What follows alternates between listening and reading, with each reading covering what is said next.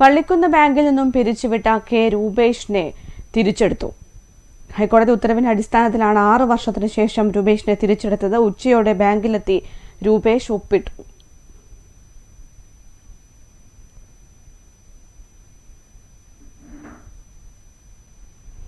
വാർത്തയുടെ കൂടുതൽ വിവരങ്ങളുമായി മനോജ് മയിൽ ചേരുകയാണ്. മനോജ് വർഷങ്ങൾ നീണ്ട നിയമ പോരാട്ട പോരാട്ടത്തിനൊടുവിൽ ഇപ്പോൾ പള്ളിക്കുന്ന് ബാങ്കിൽ നിന്ന് പിരിച്ചുവിട്ട കെ രൂപേഷിനെ തിരിച്ചെടുത്തിരിക്കുകയാണ്. എന്തൊക്കെയാണ് കൂടുതൽ വിവരങ്ങൾ? കൃഷ്ണേന്ദു നീണ്ട ഏഴ് വർഷത്തിന് ശേഷമാണ് കെ രൂപേഷ് പള്ളിക്കുന്ന് സർവീസ് സഹകരണ ബാങ്കിൽ തിരിച്ചെത്തുന്നത്.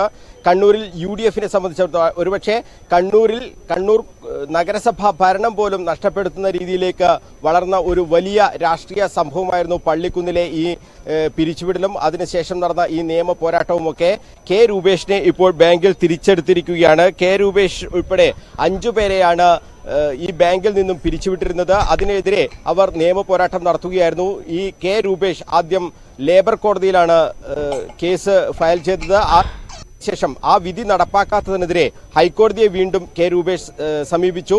അവിടെ നിന്നും രൂപേഷിന് അനുകൂലമായ വിധി ഉണ്ടായി. പക്ഷേ അതിനുശേഷവും ഈ തിരിച്ചെടുക്കാത്ത സാഹചര്യം ഉണ്ടായി. ഇതിനെതിരെ കെ രൂപേഷ് വീണ്ടും ഹൈക്കോടതിയെ സമീപിച്ചു. അങ്ങനെ കോടതി അലക്ഷ്യ ഹർജി ഫയൽ ചെയ്തു. കോടതി അലക്ഷ്യ ഹർജി ഇന്നലെയും ഇന്നുമൊക്കെയായി ഹൈക്കോടതി പരിഗണിക്കുകയായിരുന്നു. ഇതിനിടയിലാണ് ഇന്ന് ഏതാണ്ട് രണ്ട് മണിയോടുകൂടി കെ രൂപേഷിനെ ബാങ്കിൽ തിരിച്ച് എടുത്തത്. ഇന്നലെ ജോയിന്റ് ബാങ്കിൽ തിരിച്ചെടുക്കുക എന്ന ആവശ്യവുമായി കെ രൂപേഷ് മണ്ഡലം പ്രസിഡന്റ് ഉമേഷ് കണിയാങ്കണ്ടി ഉൾപ്പെടെയുള്ള നഗരസഭാ കൗൺസിലർ കെ പി റാഷിദ് ഉൾപ്പെടെയുള്ള ആളുകൾ പോയിരുന്നു. പക്ഷേ അവിടെ എത്തി ഈ ബാങ്കിൽ ജോയിൻ ചെയ്യാൻ കഴിഞ്ഞിരുന്നില്ല. അത്തരമൊരു നിർദ്ദേശം തങ്ങൾക്ക് ലഭിച്ചിരുന്നില്ല എന്നാണ് സെക്രട്ടറി പറഞ്ഞിരുന്നത്. തുടർന്ന് ഇന്നലെ കഴിഞ്ഞിട്ടില്ല എന്ന കാര്യം കോടതിയെ അറിയിക്കുകയുണ്ടായത്. തുടർന്ന് ഇന്ന് ഉച്ചയ്ക്ക് രണ്ട് മണിയോടുകൂടി ബാങ്കിൽ എത്തിയ രൂപേഷിന് അവിടെ ജോയിൻ ചെയ്യാനുള്ള ഒരു സൗകര്യം ഉണ്ടാക്കി കൊടുക്കുകയാണ് ചെയ്തത്. രൂപേഷിനെ കൂടാതെ വസന്ത് പള്ളിയാമൂല ടി കെ നിനിൽ മുസ്ലിം ലീഗ് പ്രവർത്തകരായ B K Haris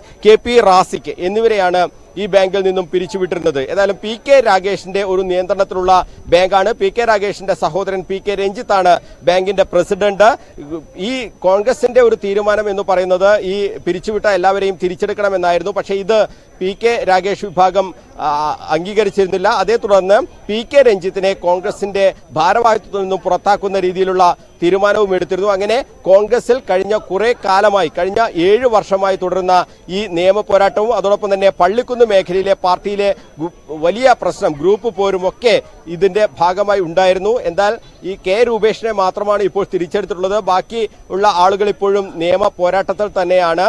ഇവർക്ക് ഇതിൽ ബി കെ ഹാരിസും വസന്ത് പള്ളിയാമൂലയും വിരമിച്ചു. ഇവർക്ക് വിരമിച്ചതിന്റെ ആനുകൂല്യങ്ങളൊന്നും ലഭിച്ചിട്ടില്ല. അതിന്റെ നിയമ പോരാട്ടം മറ്റൊരു ഭാഗത്തും നടക്കുന്നുണ്ട്.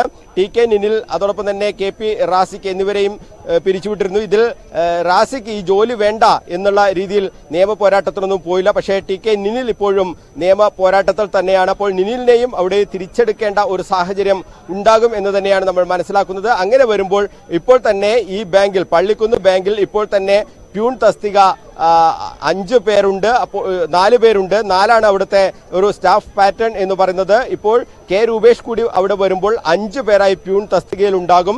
ഇത് ബാങ്കിന് വലിയ തോതിലുള്ള പ്രയാസം സൃഷ്ടിക്കാൻ സാധ്യതയുണ്ട്. അപ്പോൾ ആരെ ഒഴിവാക്കും? അല്ലെങ്കിൽ ഈ പ്രശ്നം എങ്ങനെ തരണം ചെയ്യും എന്നുള്ളത് വളരെ സങ്കീർണമായ ഒരു ചോദ്യമാണ്. ഇതിൽ പി കെ രാഗേഷിന്റെ ഭാര്യ സരമയാണ് ഏറ്റവും അവസാനമായി അവിടെ ജോയിൻ ചെയ്തത്. അപ്പോൾ സരമയെ ഒഴിവാക്കണം എന്നുള്ള ഒരു നിർദ്ദേശം ജോയിന്റ് രജിസ്ട്രാർ നേരത്തെ ബാങ്കിന് നൽകിയിരുന്നുവെങ്കിലും ഇതിനെതിരെ ഈ ഉത്തരവിനെതിരെ ഹൈക്കോടതിയെ സമീപിച്ചു സരമ. അങ്ങനെ ഹൈക്കോടതിയിൽ നിന്നും ആ ഉത്തരവ് സ്റ്റേ വാങ്ങിയിട്ടുമുണ്ട്. അപ്പോൾ ഇനി എന്ത് എന്നുള്ളതാണ് പള്ളിക്കുന്ന് ബാങ്കിനെ സംബന്ധിച്ചിടത്തോളം ഒരു ചോദ്യം. ഇന്നലെ ഈ മണ്ഡലം പ്രസിഡന്റ് കെ ഉമേഷ് കണിയാങ്കണ്ടി നമ്മളോട് ഒരു കാര്യം പറഞ്ഞിട്ടുണ്ട്.